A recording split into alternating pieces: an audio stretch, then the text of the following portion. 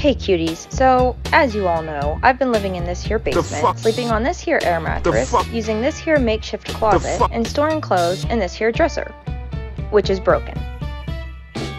As much as I love it down here, and that's only partially sarcastic because I do enjoy the privacy, the time has come for me to move out of this basement and into another basement, but with a window. For those of you who don't know, which I'm assuming is all of you, this was my old bedroom. My sister Emily stayed in here and she recently left to see her family in Thailand again after over a year because, you know, the whole pandemic. Anyway, sister, if you're watching this, my life is nothing but a void without you in it. Now that this room is vacant once more, it's time to move back in.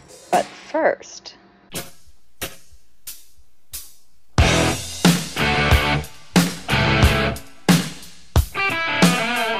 Just kidding! Let's rewind a little bit first.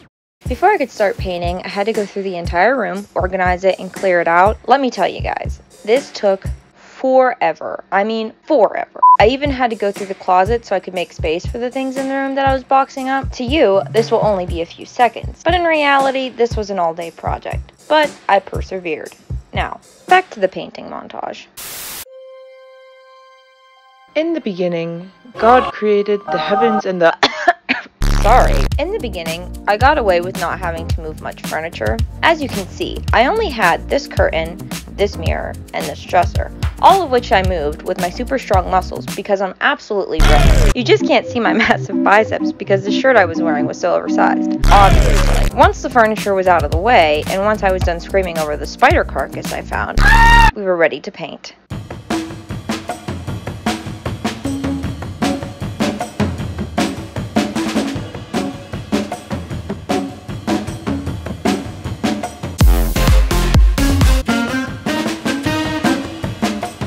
Here I am, once again, moving furniture with my wicked strong, very big, super duper large muscles. This took some time because I had to move all my books, which I initially tried grabbing like this for some unknown reason. Anyway, after that, we painting.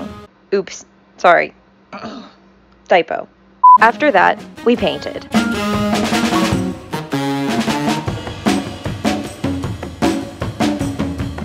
And painted.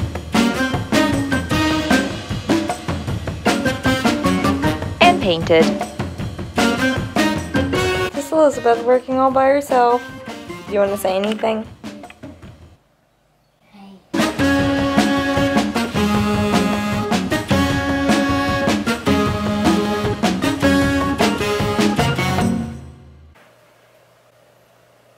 Day two. Coat two. Cheers.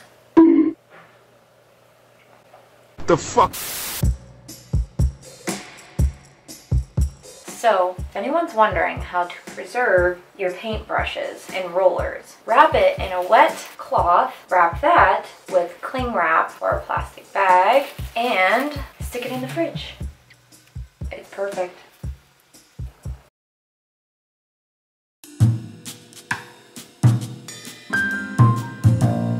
Hello cutie pies, it's me again. I hope you all enjoyed painting montages because that's all this video is. So, this second round of painting took a bit longer because one, I wanted to make sure the top coat looked nice, so I actually had to take my time, and two, I wanted to make sure there was absolutely no remnants of pink paint left on these walls. It also didn't help that I got a bit of a late start because I had to spend my morning at the DMV and that went, well.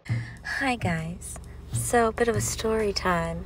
I woke up at 7.30 to get ready for the DMV so I could get there as soon as it opened, uh, hoping that it wouldn't be busy. Well, it was. It was still still busy. Um, that's okay. I took all my documents with me. I was gonna get the real ID, grab my ticket. I'm waiting in line. I get called back. I'm here for the real ID. All right, let me see your documentation. I set it all on the counter with confidence. And she points to my social security and she goes, Is this your address? And I look and I'm like, No. You know what, ma'am? It's not my address.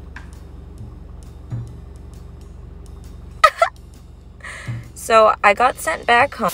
Don't worry, I did not let this deter me. So here I am painting away, and I guess now is the part where I tell you that we didn't bother laying down any floor coverings because this room is getting new carpet. I say this now because when you see this next clip, I don't want you to freak out or anything. So,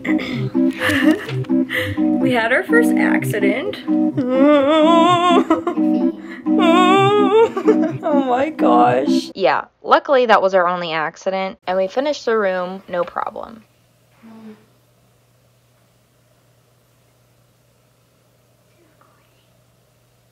So we're done. Oh my gosh, I'm back with another narration. This obviously wasn't my original intention, as you can see. I did film myself talking, but I decided that I didn't want to use this footage because the video quality is absolute poo-poo, because my camera decided to focus more on my steering wheel than it did myself. Anyway, all I was saying here is how the room took a long time to paint because of the bright pink color. I also got into a bit of the history of the room and how it used to be neon green.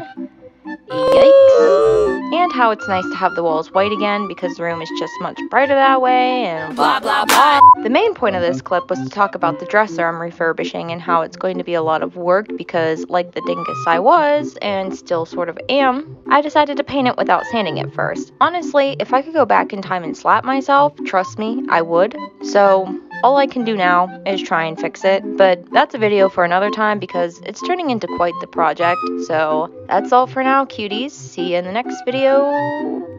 Peace. Oh my gosh, I keep getting bit by this fly! Alright, I'm getting out. Now, back to the painting. Stop barking.